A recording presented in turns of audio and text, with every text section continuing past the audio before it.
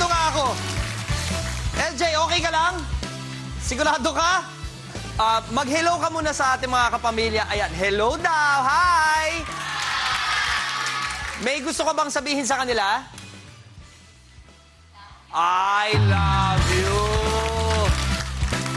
Ay.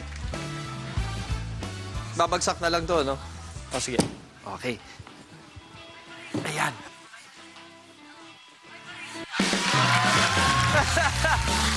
Ito muna. Pahag nga, pahag muna. Grabe! LJ, ang galing, no? Kasi, alam nyo, medyo mahirap yun, ha? Kasi nakabaliktad siya, eh.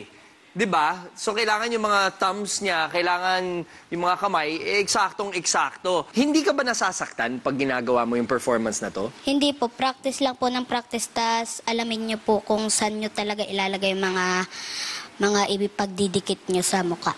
Saan galing yung talent mong yan? Sa tito ko po. Sa tito mo? Apa. Ay, hello!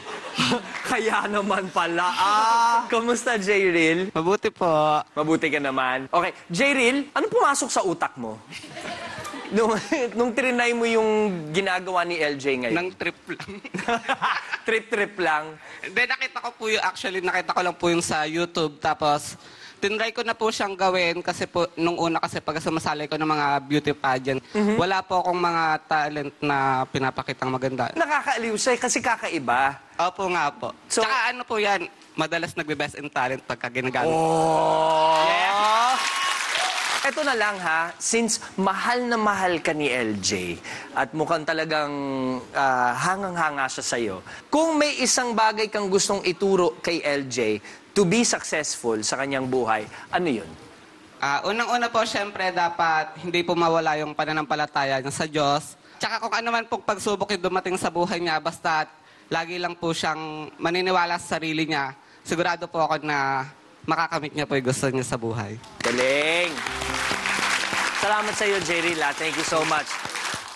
Watch the episodes and clips of Little Big Shots only here on ABS-CBN. Subscribe now to be updated weekly.